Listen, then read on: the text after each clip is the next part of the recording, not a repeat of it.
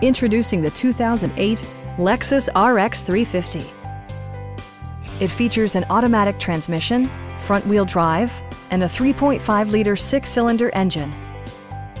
Lexus prioritized comfort and style by including adjustable headrests in all seating positions, a power seat, an outside temperature display, heated door mirrors, a power liftgate, and a split folding rear seat.